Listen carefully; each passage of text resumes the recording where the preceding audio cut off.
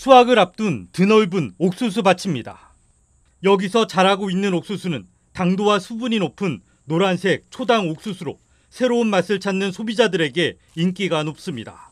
저희가 온라인 판매를 많이 하고 있고요. 근데 그 중에 이제 한 70% 정도는 온라인으로 나가고 30% 정도는 계약 재배에서 생협적으로 나- 이제 나가고 있습니다. 하지만 초당 옥수수 대부분은 수입 품종.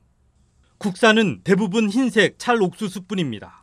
주력은 그래도 흰 찰 옥수수가 국내 주력이다 보니까 소비자들도 어, 선택의 폭이 좀 좁은 편이죠. 그 종자도 실제로 좀 모자라는 편입니다. 때문에 국내에서도 새로운 품종 개발이 한창입니다.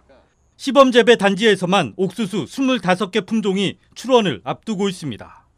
흰색 찰옥수수 품종은 물론 노란색 옥수수와 당도가 높은 단옥수수 품종까지 종류도 다양합니다. 살기가 있고 그다음에 이빨 사이에 끼지 않는 얇은 껍질을 가지고 있는 찰옥수수라든지 당 성분이 굉장히 많은 초당 옥수수라든지 이런 옥수수들을 개발을 하고 있습니다.